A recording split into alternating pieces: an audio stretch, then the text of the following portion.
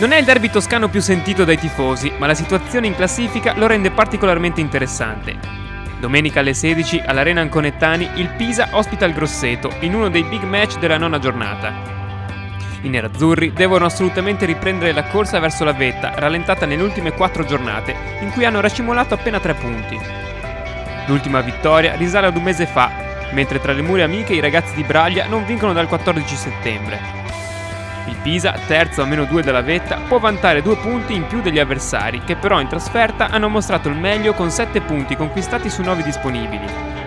Lo scorso anno all'Arena terminò 0-0, ma il Grosseto riuscì ad imporsi al ritorno 3-1. Sfida nella sfida in attacco, con il Pisa che si affida ad Armà, 7 gol in 8 partite, ed il Grosseto che risponde con Bigman, 5 reti in 7 apparizioni.